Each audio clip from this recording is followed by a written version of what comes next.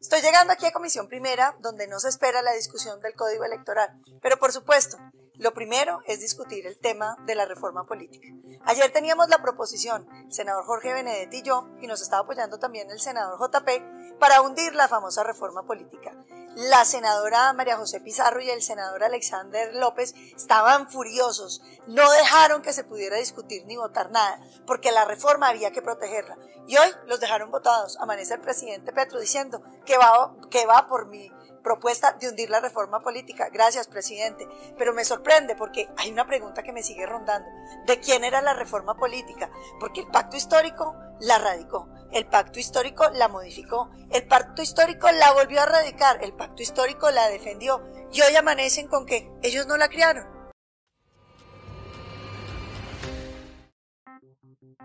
Y eso, por supuesto, es una manera mediante la cual Petro se compra las mayorías del Congreso. Eso es así, literalmente así. Se supone que una reforma política es para mejorar el funcionamiento de Colombia.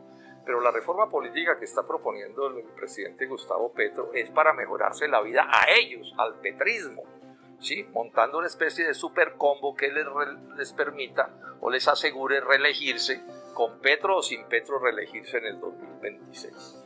Entonces, les aseguran a los actuales congresistas, representantes y senadores que las listas cerradas de las elecciones se organizarán de una manera en que ellos obligatoriamente las encabezarán. Todo está diseñado para eso, de forma que en esos partidos no se da ninguna renovación y ellos saldrán reelegidos en el 2026. O sea, compren una boleta y lleven por lo menos dos. Y eso, por supuesto, es una manera mediante la cual Petro se compra las mayorías del Congreso. Eso es así, literalmente así. Los vuelve como sus súbditos, porque los vuelve como un combo para que les vaya bien en las próximas elecciones.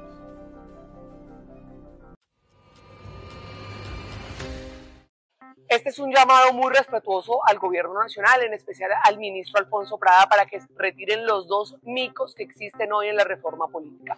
No aceptamos de ninguna manera que los congresistas puedan ir a ser ministros, pero en cualquier momento puedan retornar a su curul. Esto es inaceptable en una democracia. Pero adicionalmente, que las listas para el 2026 se hagan conforme a la actual organización del Congreso de la República, donde se respete y se borra de tajo la democracia. Nosotros no aceptamos esos micos, le pedimos al gobierno nacional que lo retire o que retire en su defecto la propia reforma política.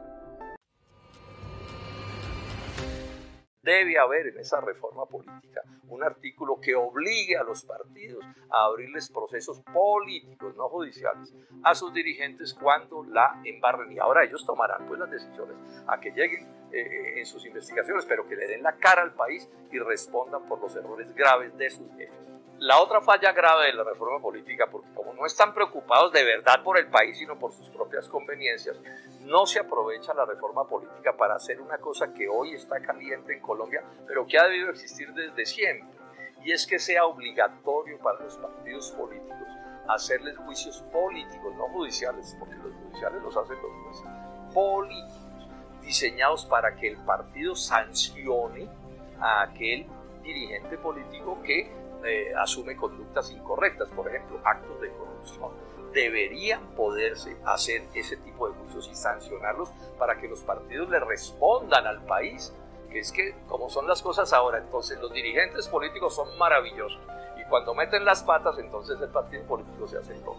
Por ejemplo, tenemos un caso en este momento, el señor Nicolás Petro comete unos errores gravísimos que están documentados de todas las maneras y el pacto histórico la Colombia humana que sacan pecho con el señor diputado Nicolás Petro en Barranquilla, entonces ahí sí no dan la cara y se hacen los locos y no responden. Debe haber en esa reforma política un artículo que obligue a los partidos a abrirles procesos políticos, no judiciales, a sus dirigentes cuando la embarren. Y ahora ellos tomarán pues las decisiones a que lleguen eh, en sus investigaciones, pero que le den la cara al país y respondan por los errores graves de sus jefes. Logramos hundir la reforma política. Desde hace seis meses lo veníamos advirtiendo. La reforma del presidente Petro promueve el clientelismo, promueve la corrupción y atenta contra la oposición. Afortunadamente ayer se consiguieron las mayorías y hoy el gobierno toma la determinación de retirarla. Se hunde la reforma política en beneficio de la democracia y de la participación de los ciudadanos.